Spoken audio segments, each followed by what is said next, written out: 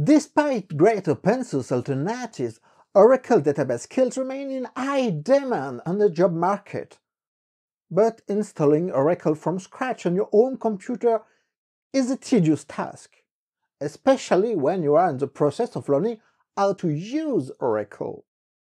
Hopefully, you can leverage Docker to install an Oracle database instance with minimum efforts, and that without requiring too many resources on your computer.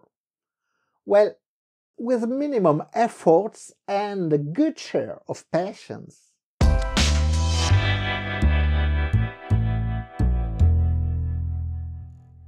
In this video, I assume you have a recent version of Docker already installed on your computer.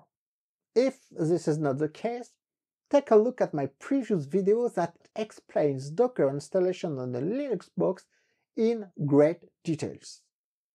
Anyway, you can download a pre-installed image of Oracle from the Docker Hub. As of myself, I found the official image provided by Oracle Corporation painful to install. So I will use an image from Maksym Bilenko instead.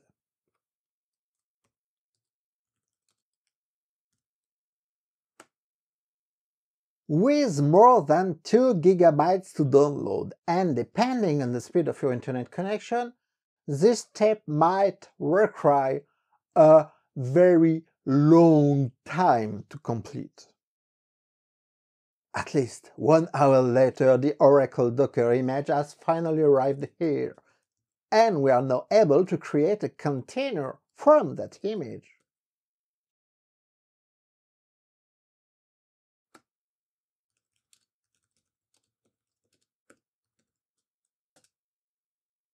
The first time the Oracle container is started, you will need a little bit more patience, the time it performs its initial setup. Few minutes later, finally, this time it's ready to use. So let's start the venerable Oracle SQL Plus command line tool in the context of that container to issue first commands.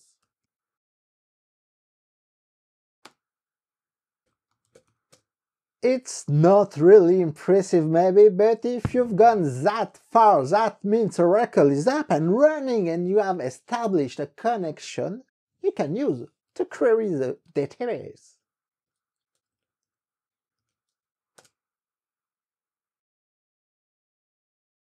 Of course, you will not run as a database administrator for your daily work.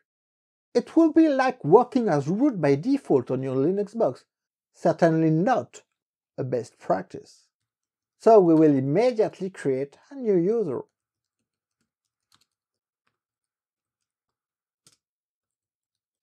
Creating a new user used to be simpler before, but Oracle deprecated the connect and resource roles because they were too coarse-grained. You can still see many tutorials using them, but it is commonly admitted now they give too many privileges to the user.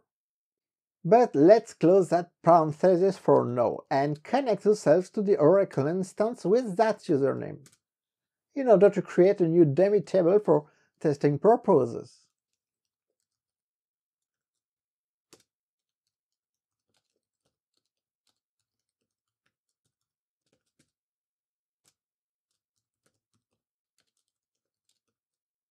And that proved it you have now a working instance of Oracle database ready for you to practice using the SQL Plus command line interface.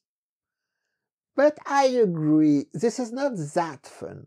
Maybe you would prefer using some nice graphical tool to do that. The good news is such a tool is already available in the container. The bad news is that requires a little bit of setup and configuration to be usable from there and that will be the subject of a next video.